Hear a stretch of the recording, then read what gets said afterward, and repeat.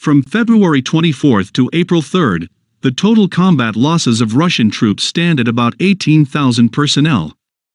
The General Staff of the Armed Forces of Ukraine wrote this on Facebook.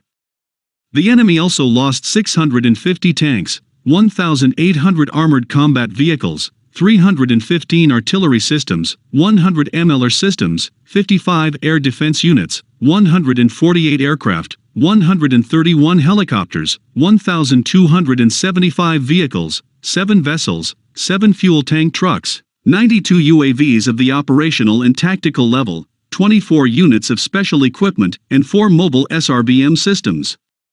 It is noted that the data on enemy losses is being updated, as the calculation is complicated amid highly intense hostilities. Meanwhile, Ukraine says its forces have retaken the entire region around Kiev as Russian forces withdraw from key towns.